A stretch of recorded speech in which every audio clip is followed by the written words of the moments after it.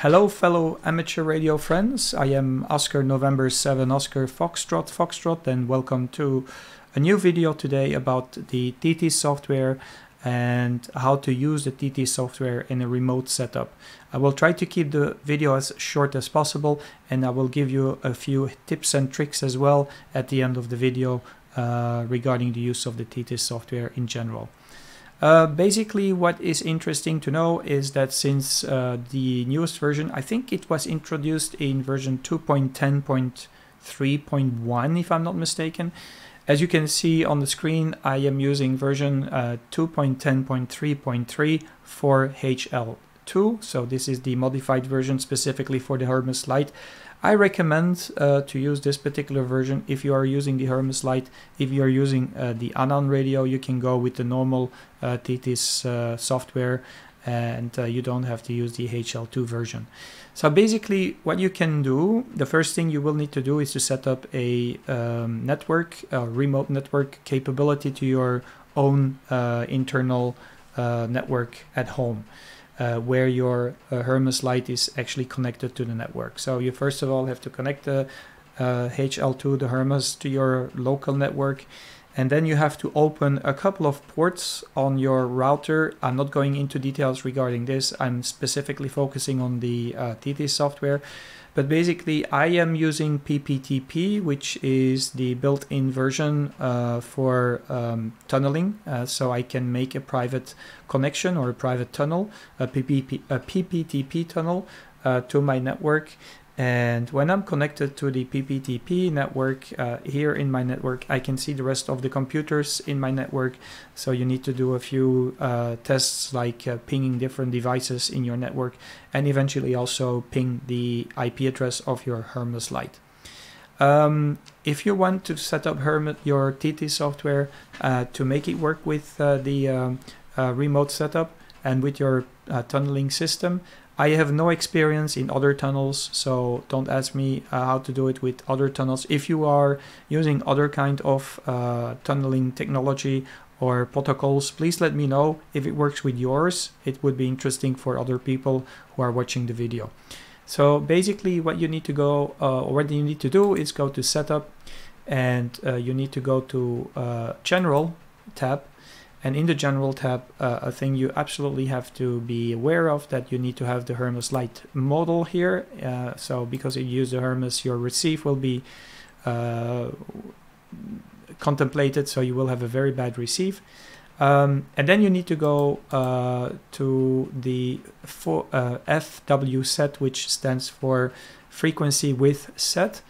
Now, uh, Thetis is very uh, data hungry, so it uses a lot of uh, bandwidth on your network. Uh, so I recommend to set up your network or your uh, bandwidth to 48,000. Um, so this will um, actually be acceptable as far as bandwidth is concerned.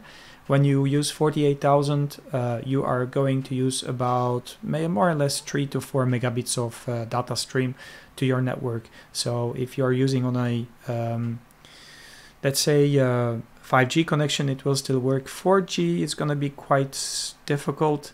Um, but basically, this kind of setup is to be used for somebody who is in another local network that is connected through an ADSL or a high-speed connection to the internet.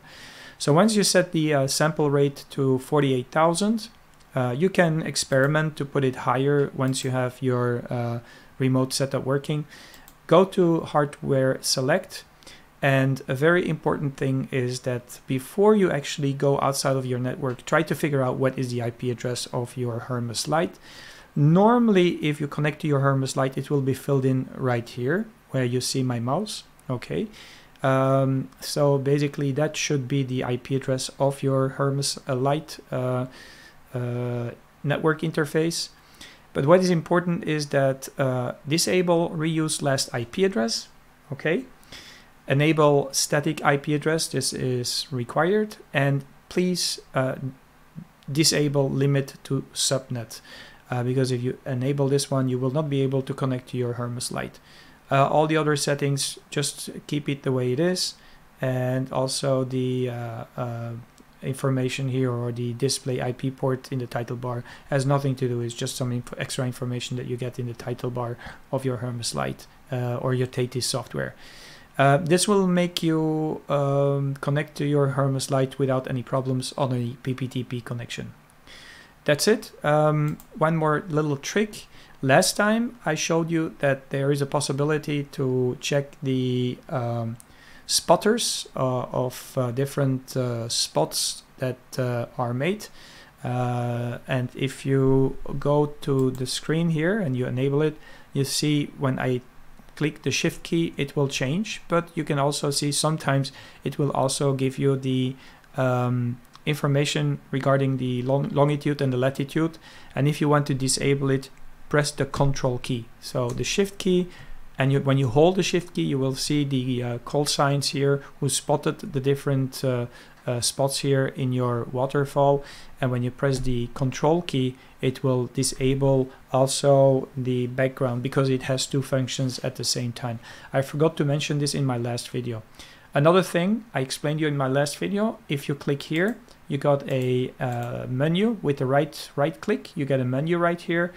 If you um, estimate that, for example, the peak is a button that you often choose, if you want to have this particular button as the default button, you right click here. As you can see, it changes into peak and you got two different buttons like this. You got fill here.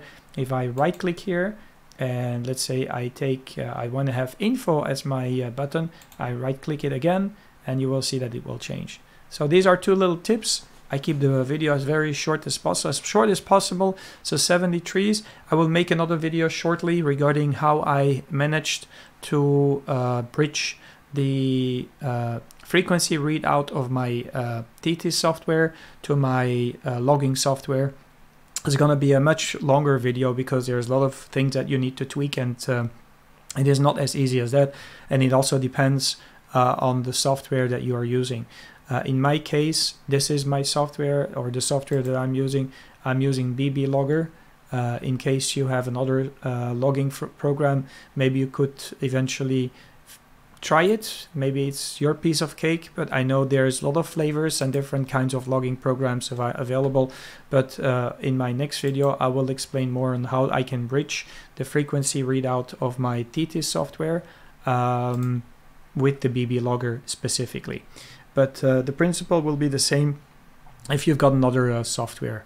70 trees, take care. Thank you very much. And hopefully we can see you again somewhere on the bands. This is ON7OFF signing off. Bye bye.